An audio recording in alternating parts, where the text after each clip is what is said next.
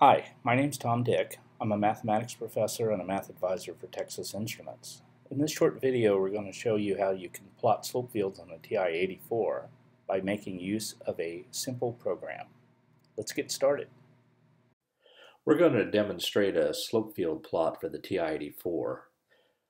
Slope fields are not a built-in functionality for the TI-84, but there are a number of programs that provide that functionality, and we'll be demonstrating one of those for you here. Uh, we're going to use an example of dy dx equals negative x over y and how you could plot a slope field for that on the TI-84. Uh, the program has the name SLP FLD for slope field and is found under the program menu. Uh, the program will expect to find the expression for our differential equation in a convenient spot, and that's in y1. So I'm going to go to the y equals menu, and we're going to enter the expression for our differential equation there. So dy dx was equal to negative x divided by y.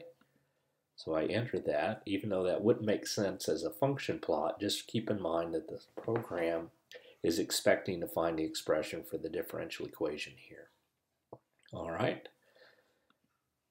And now we're ready to run the program. So I'll call up the program slope field.